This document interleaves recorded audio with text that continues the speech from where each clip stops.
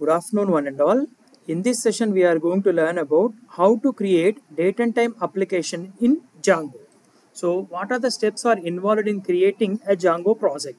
So here creation of Django project is the first step and creation of application in that project is the second one. Now adding our application name in settings.py file is the third step and we are going to define the view function and URL pattern and create a separate urls.py file in our application. Finally, we are going to start the server. So these are the main steps for this project. Now I quickly open my command prompt. So this is my command prompt. Now I am going to navigate to my folder. So let me say I am going to navigate to D drive. Now I am going to create a folder called Django projects. So in this I am going to include my all the projects. Now cd Django projects. So here now in the first step I am going to verify the Python version. So the Python version is perfect. Now I am going to install Django. It is already installed so it will show that the requirement was satisfied. Yes, you can clearly see that requirement was satisfied here. Now we are going to clear the screen and I am going to verify the Django admin version. So let me check the version also.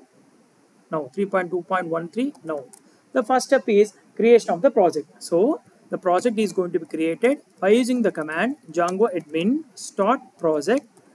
Let me say my project name as first project. So i'm going to press the enter. Yes the project is created in a d drive. Now i am going to create the application. So before going to create the application i am going to use the command that is python. Let me say let me navigate to my folder. Yes here i am going to create my application so python manage.py uh, let me say start app my application name as first app so press the enter. Now the application was created. Now once the application is created we are going to start our project. Yes the application is created. Now i am going to select code space dot which will open Visual Studio Code. That is our project is going to be implemented and executed in Visual Studio Code. And here you can clearly see that it consists of two folders. That is first app this is our application name. First project this is our project name. So first app consists of admin.py apps.py models.py which is used to connect the database and test.py and views.py the first project consists of settings.py urls.py and wsgi and finally manage.py which is used to run the server. Now in the first step, I am going to make my settings that is I am going to add my project. That is here my application name is first app. So here I am going to add this first app in this. So let me close this one. Now first app so that Django will recognize our application. So in the first step, I am going to add the views.py file. So what is our activity one? Adding our application settings.py so that the Django will aware about our application and the activity 2 consists of creating a view for our application.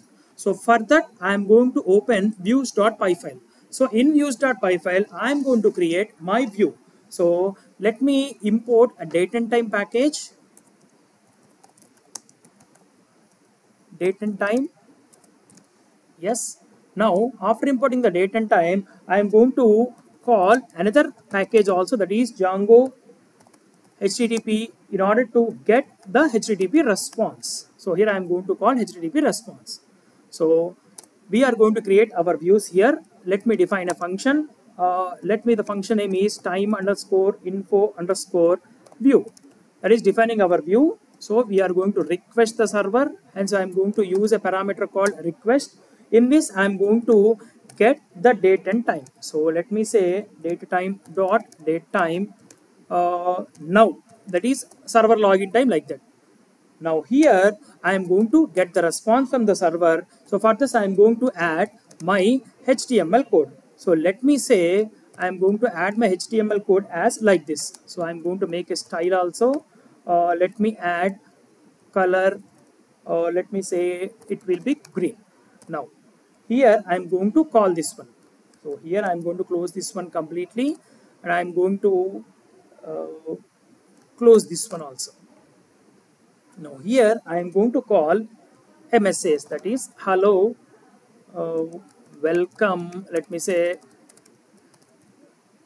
welcome. So slash is used to add the multiple lines. So hello welcome to the world of Django now I am going to close this h1 tag that is h1 tag along with I am going to mention the break tag also. Now next one. Now here I am going to add the another thing another thing also. So what I am going to add let me say it will be closed when once the entire string is going to be completed. So let me say I am going to add another one. So let me going to add this one also. So here uh, so here h1 style is color green and I am going to add uh, the programs. Let me say like this. Now first I am going to close this one. So, so here I am going to add another message the programs in Django. Let me add the slash. In Django are written in advanced Python. Advanced Python. Now I am going to close the h1 tag and I am going to close I mean uh, close uh, use the break tag. I am going to start it with the next line. So in the next line I am going to add the another text message also. Along with the server response time I am going to add these messages. So here I am going to take let me say oh here uh, Django is used to connect to uh, let me add any database. Let me minimize this one. Yeah any database. I am going to close the h1 tag. I am going to close the break tag. Now I am going to call our date and time that is h1 let me say our style is equal to let me add color colon. Let me use pink color now close this one. It will don't show an error now here I'm going to use like this. So here in every way we are going to use the semicolon. Color equal to green also semicolon. Now so here I am going to print the date and time. Now the current date and time is here I am going to get the string first. That is str of time. So let me go into end this one. And I am going to end the h1 tag and also close the center tag yes. So here you can clearly see that here I just printed a message that is hello welcome to Django and programs in Django are written in advanced Python and Django is used to connect any database and finally I have retrieved the date and time now from this I am going to return my response hence I am going to write return HTTP response of the variable and that is S. So in this way views.py file is going to be written. Now the next step is we are going to represent our view in urls.py file. So for this in the application that is first app I am going to create a file. The file name is urls.py in this urls.py file I am going to mention my view. So from django.urls import let me say path.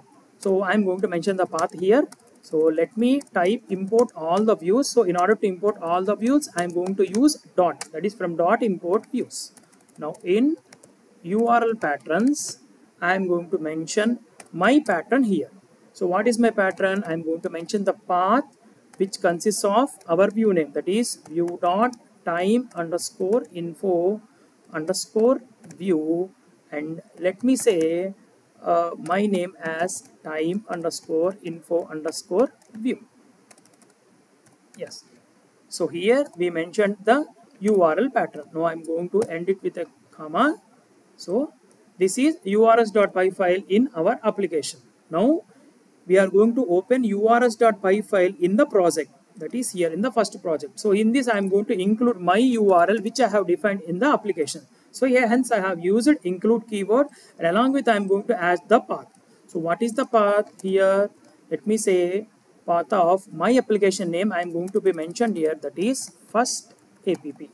uh, next step here I am going to include my function that is include of first app.urls now the function is closed. Yes right. So we are going to save it here. So first we have created the view. In the second step we have created urls.py file in the application. In the third step we have mentioned our url in urls.py file in the project. Now we are going to save all the files and we are going to open the command prompt. So here my command prompt. So let me say python space manage.py run server. So if at all any error the errors are displayed in the server side so here I just started my project. Now when once the project is started, we are going to enter the URL that is localhost colon. So here we can clearly see that view there is an error. So let me check it out this error. Uh, yeah, views dot time. So here we are going to add views. So we just mistaken here views. We are going to save it here. Yes, you can clearly see that no errors. We just going to quit the server and we are going to uh, migrate using the command python manage.py migrate in order to remove any unwanted errors. Now again i am going to start the server. Python manage.py run server. Now the server is started with the port number 8000 so i am going to copy this one and i am going to open it in the browser. So here i am going to open it in the browser. So here we are going to mention our application. So let me say first app when you press the enter it will clearly display the message hello welcome to the world of django. The programs in django are written in advanced python and django is used to connect, connect any database. Now the current date and time is this. When you are going to refresh the time will be automatically changed. So here you can clearly see that the time is automatically changed with milliseconds also. So in this way the application is created that is date and time application is created in django. Thank you